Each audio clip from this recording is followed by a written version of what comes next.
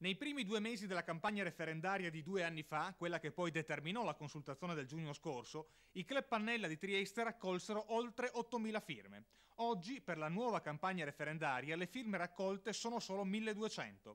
Un risultato insoddisfacente che il movimento dei club Pannella si propone di ribaltare avviando da oggi e fino al 30 settembre, giorno di chiusura della campagna referendaria, un forcing finale per raccogliere più adesioni possibile.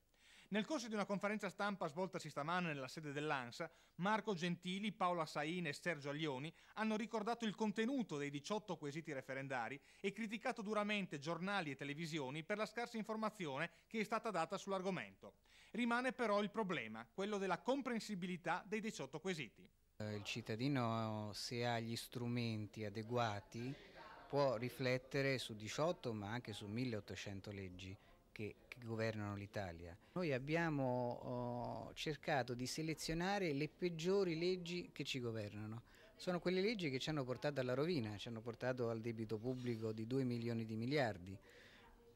Queste 18 leggi riguardano la giustizia in principal modo, no? ci sono quattro referendum sulla giustizia, ora c'è un'emergenza giustizia, noi pensiamo che bisogna cambiare le leggi che regolano la giustizia a partire dalla responsabilità civile del magistrato che è stato già votato nell'87 e ci sono quelli sul sistema elettorale, sono tutte leggi molto importanti, io penso che eh, viene offerta questa possibilità al cittadino, eh, il cittadino può... Eh, può raccogliere questa opportunità. Io penso che questa opportunità sarà raccolta anche dagli operatori del diritto, dagli, dagli avvocati, dai magistrati, insomma.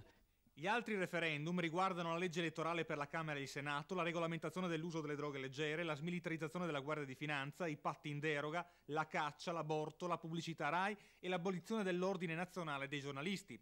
Gentili, Sain e Alioni hanno infine ricordato che è possibile firmare tutti i giorni presso le segreterie dei vari comuni e ai tavoli dei club Pannella, che saranno allestiti domani e sabato in via delle Torri dalle 16.30 alle 19.30.